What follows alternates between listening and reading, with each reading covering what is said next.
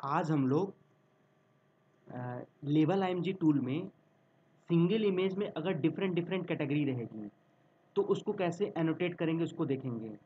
उसी को हम लोग कलर एनोटेशन कहते हैं। सपोज़ जैसे एक सिंगल इमेज में आपको डिफरेंट डिफरेंट कैटेगरी है। अगर आप जैसे कि जो आपका टॉप बियर है बॉटम बियर है आउटर बियर है तो इसको इन इन सिंगल इमेज आपको करना है तो उसके लिए आपको ये डिफरेंट डिफरेंट कलर होगा, जैसे टॉप वियर का होगा तो आप हमेशा टॉप वियर करेंगे बॉटम को बॉटम करेंगे आउटर को आउटर करेंगे फुट वियर को फुट वियर करेंगे। इसी तरह सपोज़ जैसे आपके पास हंड्रेड ऑफ़ या two hundred number of images हैं, लेकिन अगर suppose in a single image आप कार कार का कर रहे हैं एनोटेशन कर रहे हैं तो आप हंड्रेड इमेज के लिए अगर आपके पास क्लास क्लास नेम अवेलेबल है, सिर्फ़ कार तो आप हर सभी इमेज के लिए कार कर देंगे। लेकिन सपोज़ समझ लीजिए एक इमेज में आप कर रहे हैं कि back light front light car तो एक सिंगल इमेज के लिए आप थ्री क्लासेस को डिफाइन कर रहे हैं। तो एक सिंगल इमेज में आप क्या करेंगे? थ्री लेवल को करेंगे। थ्री थ्री कैटेगरी को एनोटेट करेंगे तो मतलब थ्री कलर ऑफ़ एनोटेशन होंगे। तो इसको हम लोग देखते हैं एग्ज़ाम्पल समझते हैं। सपोज़ जैसे कि हम पहले अपना जो हम, हम लोगों ने इन्वायरमेंट क्रिएट किया था उसको ओपन कर लेंगे अपने इन्वायरमेंट को देखकर जहाँ पर हमारा ये level I M G master tool होगा, वहाँ पर हम ये लोकेशन देंगे सीडी डाउनलोड जैसे कि हमने यहाँ पे डाउनलोड्स में है हमारे तो level I M G master tool का तो डाउनलोड्स देंगे। अगर आपके डी ड्राइव में होगा तो आप डी ड्राइव की लोकेशन देंगे। जो भी लोकेशन रहेगी एग्जैक्ट वहाँ पे कॉपी कर देंगे। बाकी ये दो कमांड आपकी सेम रहेगी। ये हमने आपको पिछली वीडियो में बता दिया था कैसे ओपन करना है लेवल आई मास्टर टूल को। तो जो, इसके लिए हम लोग क्या करते हैं? जिस भी डायरेक्टरी में हम ओपन डायरेक्टरी करते हैं फोल्डर को सिलेक्ट करते हैं। सपोज़ जैसे हम इस फोल्डर को कर रहे हैं। तो अब जैसे कि सपोज़ जैसे कि हम डिफरेंट कलर ऑफ़ एनोटेशन कर रहे हैं तो हमारी इस बार रिक्वायरमेंट है कि हमको करना है top wear bottom wear inner wear foot wear तो अब इस इमेज में हमको क्या दिखाई दे रहा है? इस इमेज में हमको फुट वियर नहीं दिखाई दे रहा है आउटर वियर नहीं दिखाई दे रहा है इनर वियर नहीं दिखाई दे रहा है।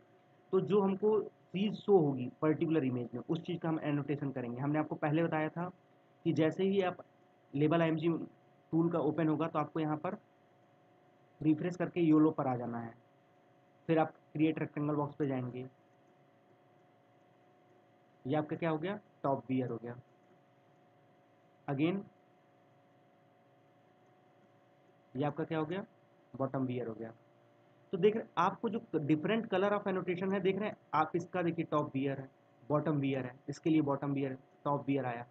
तो एक एक सिंगल इमेज में ही आ रहा है। तो जो आपको हमने बताया था कि जो डेटा फोल्डर होगा प्री डिफाइंड क्लास का, जहाँ पर आपकी सारी ये फाइलें रहेंगी नंबर ऑफ़ हम आपको उसको शो करेंगे बाद में। हमने पिछले वीडियो में बताया था। तो इस तरह आप करके क्या करेंगे? इसको सेव कर देंगे। जैसे ही सेव करेंगे तो आपका फ़ाइल टी आपका ये प्री डिफाइंड क्लासेस का आ गया है। करते हैं। अब नेक्स्ट इमेज में हमको जो, देखिए इसमें फुट वियर भी है बॉटम वियर भी है। टॉप बियर भी है। इसी तरह हम नेक्स्ट इमेज मान लीजिए इस इमेज को हमको नहीं करना है। तो अगर जैसे अब यहाँ पे हम नेक्स्ट कर रहे हैं तो यहाँ पर आ गया। तो यहाँ पर हमको सिर्फ़ सिंगल इमेज शो हो रहा है। तो हमको क्या करेंगे? ओवरऑल तो जो आपको, आपके पास अलग अलग तरह की इमेज आएँगी एक फोल्डर में, लेकिन प्री डिफाइंडेड क्लास आपको पहले से अवेलेबल दी जाएगी, या आप आप अपने मन से भी क्रिएट कर सकते हैं, जैसी आपको रिक्वायरमेंट रहेगी, आपको बताया जाएगा। उसको आप सेव कर देंगे। आपका क्या होगा? नेक्स्ट इमेज अब यहाँ पर हमको तीनों चीज़ें हैं। आप क्या करेंगे? टॉप वियर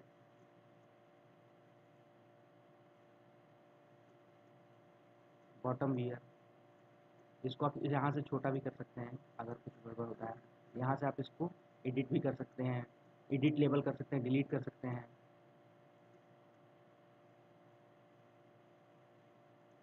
बॉटम भी फुट है तो देखिए, आपको ये डिफरेंट डिफरेंट कलर के एनोटेशन हुए ना एक थ्री कैटेगरी की एक ही सिंगल इमेज में। इसको हम सेव कर देते हैं। नेक्स्ट करते हैं। अब आपको यहाँ पर क्या है? आउटर वियर है इनर वियर शो हो रहा है। तो अगर आपको सपोज़ अगर आपको इस पर करना है तो कर सकते हैं इनर वियर आउटर वियर तो देखिए, यहाँ पर डिफरेंट डिफरेंट कलर के एनोटेशन हो रहे हैं। इसको सेव कर देते हैं। और एक दो एग्जांपल इसको आप बताते हैं। अब जैसे यहाँ पर है आपका। Top wear bottom wear foot wear तो इस तरह आप चेक कर सकते हैं कि आपका डिफरेंट डिफरेंट कलर आपका एनोटेशन हो रहा है कि नहीं। तो ये जो आपका डिफरेंट कलर ऑफ़ एनोटेशन है, जैसे हमने आपको सीवेट टूल में बताया था, कि हर लेवल के लिए अलग कलर उस पर शो होता है, आपको सीवेट टूल में। तो यहाँ पे आप क्या कर रहे हैं, एक सिंगल इमेज में आपको थ्री क्लासेस को डिफाइन करना है। तो जो क्लास आपको इमेज में शो होगा, अब जैसे मान लीजिए सपोज़ आप कार का कर रहे हैं तो ज़रूरी नहीं कि आपको कार में जो आपका फ्रंट लाइट है बैक लाइट है, सारी चीज़ शो हो। मान लीजिए किसी में फ्रंट लाइट है तो आप फ्रंट लाइट कर देंगे। लेकिन जो आपका क्लास नेम है, वो चेंज नहीं करेंगे। जो आपको शो होगा, जैसे आप, यहाँ पर हमको अगर फुट वियर शो हो रहा है तो अगर हमको फुट वियर का करना है तो फुट वियर का करेंगे, अगर क्लास नेम है। सपोज़ अगर हमको ऐसी रिक्वायरमेंट होती कि हमको right right foot right arm left arm right foot wear left foot wear right leg left leg ऐसा कोई रिक्वायरमेंट रहता तो हमको उस तरह करना रहता। जो चीज़ हमको शो होगी, उसका हमको क्लास नेम देंगे। तो आपको जब आप एनोटेशन डन करेंगे तो आपको क्लास नेम पहले ही बता दिया जाएगा कि आपको इस पर्टिकुलर इमेज में जो नंबर ऑफ़ फोल्डर आपको इमेज का अवेलेबल रहेगा, उसमें किस किस कैटेगरी को आपको एनोटेट करना है। तो जैसे ही आप एनोटेट करेंगे, जैसे सपोज़ हमने यहाँ पे एनोटेट किया फोल्डर फाइव में तो फोल्डर फाइव को एनोटेट किया तो देखिए यहाँ पर हमने दो क्लास को डिफाइन किया था। तो देखिए आपको ज़ीरो और फोर ये आपको क्या है क्लास नेम है? हमने आपको पहले बताया था कि आपको डेटा फोल्डर में ज़ीरो नंबर पे आपका क्या होगा? टॉप बियर होगा। फोर नंबर पे आपका क्या होगा? बॉटम बियर होगा। तो ये क्लास नेम आपको वहाँ से वो फाइंड आउट कर लेगा। जैसे ही आप एनोटेट करेंगे तो पर्टिकुलर इमेज के लिए क्या होगा? क्लास नेम आ जाएगा। यहाँ पे हमने ओवरऑल दिया था तो थ्री है। तो जब वो मॉडल बिल्डअप करेगा मशीन लर्निंग इंजीनियर जो रहेगा, जो आपका ऑब्जेक्ट डिटेक्शन बेस्ड पर या सी बेस्ड मॉडल को बिल्डअप करेगा तो वो क्लास नेम से फाइंड आउट कर लेगा कि हमको क्या क्या डिटेक्ट करना है। तो वो आपका, अगर आप मशीन लर्निंग पर भी वर्क करेंगे तो आप इसके बारे में जानेंगे कि वो क्लास नेम से कैसे फाइंड आउट होता है। तो कभी कभी क्या होता है, जो ये क्लास नंबर का जो सीरियल है, वो इंपॉर्टेंट रहता है। तो इसीलिए डेटा फोल्डर में हमको प्री डिफाइंड क्लासेस का हमेशा पहले प्रोवाइड कर दिया जाता है। जो प्रीवियस वाला रहता है, उसको डिलीट कर दिया जाता है सबको। जैसे अभी हम, यहाँ पर आपका क्लासेस का ऑटोमेटिक क्रिएट हो जाता है।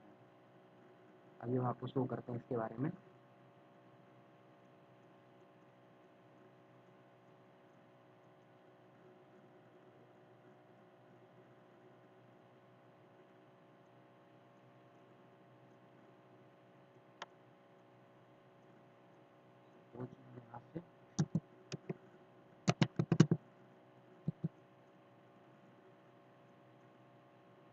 देखिए, हम, हमने प्री डिफाइंड जो हम लेवल जी मास्टर टूल को आप इंस्टॉल करेंगे, जब अपने सिस्टम में लोकल पीसी में तो आपको वहाँ पर मे बी ग्यारह या बारह आपको प्री डिफाइंड क्लासेस अवेलेबल रहती हैं। तो उसको हमने अपनी रिक्वायरमेंट के अनुसार हमने उसको डिलीट कर दिया, हटा दिया, और जो हमारी रिक्वायरमेंट थी उसको हमने आपका नोट पैड पर इस तरह कर लिया, क्रम से। तो ये कभी कभी क्या होता है कि आप जिसके लिए वर्क करेंगे, वो आपको नेक्स्ट टास्क जैसे ही उसकी रिक्वायरमेंट रहेगी, जो भी टास्क रहेगा उसके अनुसार आपको ये प्री डिफाइंड क्लासेस का वो आपको प्रोवाइड कर देगा। नोट पैड में। तो आप क्या करेंगे, जो प्रीवियस वाला है उसको डिलीट कर देंगे और आपका जो अभी का प्रेजेंट टाइम में आपको जो रिक्वायरमेंट है उसको वहाँ पर पेस्ट कर कर आप अगेन एनोटेट एनोटेशन करने लगेंगे। तो इस तरह हमने देखा कि यहाँ पर कैसे डिफरेंट कलर ऑफ़ एनोटेशन करते हैं। सपोज़ आपको जैसे देखिए, यहाँ पर हमने आपको इनर वियर और आउटर वियर किया था। तो इनर वियर का आपको टू और वन तो इस तरह आपको ये शो अप होता है। इसमें आपको सपोज़ जैसे हम यहाँ पर फिर अगेन चेक करते हैं, आपको यहाँ पर देखेंगे इनर वियर आपको थ्री नंबर पर है। तो इस तरह आपको शो होगा, वो क्लास नेम से फाइंड आउट कर लेगा जब आप वो model build model build up करेगा फॉर ऑब्जेक्ट डिटेक्शन या सी एन एन बेस्ड जिसके लिए आपका जैसे एनोटेशन हम क्यों करते हैं, कि हमारा मॉडल एक्यूरेट प्रिडिक्ट करे तो मॉडल की लर्निंग बेटर हो। सपोज़ जैसे कि अगर सपोज़ हम सिर्फ़ एक सिंगल सिंगल क्लास को कर रहे हैं। हमारे पास जैसे एक मान ली सपोज़ ये सिंगल इमेज वो रहती, हमको सिर्फ़ एक क्लास को करना रहता सिर्फ़ हमको बस करना है कि ह्यूमन के फेस को करना है। तो आपको एक सिंगल कैटेगरी का यहाँ पर अवेलेबल रहेगा। सपोज़ जैसे हम एक दूसरी डायरेक्टरी को ओपन करते हैं। सपोज़ जैसे हमारी रिक्वायरमेंट रहती है कि हमको स्वीट शर्ट यहाँ पर करना है शर्ट का करना है।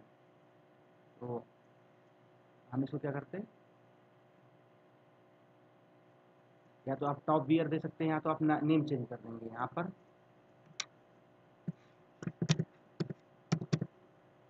सर्ट के लिए।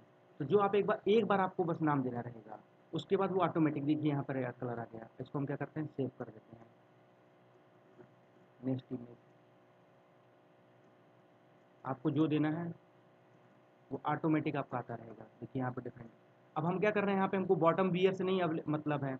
हमको सिर्फ़ एक चीज़ का एक सिंगल इमेज में एक क्लास को हमको बस किया गया है एक कैटेगरी को एनोटेट करने के लिए। तो जैस जो रिक्वायरमेंट रहेगी जो डिमांड रहेगी या जो आपको टास्क दी जाएगी आपको उसके अनुसार करना रहेगा। अगर सपोज़ हमारी रिक्वायरमेंट रहती है हमको शर्ट का और बॉटम बॉटम वियर का करना है तो आप बॉटम वियर का करते हैं। अब हमारी अब हमको इस इमेज में हमको फुट वियर भी दिख रहा है बॉटम वियर भी दिख रहा है आपको शर्ट मतलब टॉप वियर भी दिख रहा है, लेकिन हमारी रिक्वायरमेंट है कि हमको कहा गया है कि आप जो टॉप वियर है, उसको शर्ट नाम से एनोटेट करना है। या सपोज़ जैसे कि इसको रहता कि पैटर्न के अनुसार करना है तो जैसे सॉलिड है तो सॉलिड यहाँ पे कर देना है। तो जो भी आपको क्लास कही जाएगी तो उस पर्टिकुलर फोल्डर में जो आपको कहा जाएगा, जैसे सपोज़ जैसे टू क्लासेस है तो टू क्लासेस में जो आपको इमेज अवेलेबल रहेगी, उस पर करना रहेगा। अगर सपोज़ हम सॉलिड दे देते हैं। तो आपको प्री डिफाइंड क्लासेस अवेलेबल रहेगी, आप आपको अपने हिसाब से भी दो क्लासेस को देकर वर्क कर सकते हैं। रिक्वायरमेंट रहेगी उसके अनुसार आप यहाँ पर कलर एनोटेशन जैसे हम एक सिंगल कैटेगरी के लिए अभी एनोटेशन कर रहे हैं प्रेजेंट फोल्डर में। इसके पहले हमने फोल्डर फाइव में डिफरेंट डिफरेंट कैटेगरी के लिए किया था। तो जो इमेज हमको शो हो रहा था, हमने उसके लिए किया। तो इस तरह हम लोग लेवल एम टूल से डिफरेंट कलर ऑफ़ एनोटेशन करते हैं। इसको हम लोग देख लेते हैं। अब यहाँ पर अब जैसे हमने क्या किया था कि प्री डिफाइंड क्लासेस को डिलीट नहीं किया था तो देखिए इसको सिक्स नंबर अवेलेबल हुआ क्योंकि हमने क्या किया उसके लास्ट में दिया। उसमें five pre predefined folder में आपका कितना था? फाइव क्लास अवेलेबल थी। तो इस तरह हम लोग वर्क करते हैं। जैसे इसमें आपका हमको हमने सर्ट का दे नहीं रखा था लेकिन हमने इस फोल्डर के लिए अभी अपने मन से दे दिया तो प्री डिफाइंड क्लासेस में एक ऐड हो गया। तो जैसे जैसे सपोज़ अगर आप इसको डिलीट नहीं करेंगे अगर आप ऐड करते चले जाएँगे तो आपको ऐड होते चला जाएगा। तो प्री डिफाइंड क्लासेस आपका क्या होगा क्लासेस नेम आपका? है फिर सॉलिड का दे देते सॉलिड हो जाता।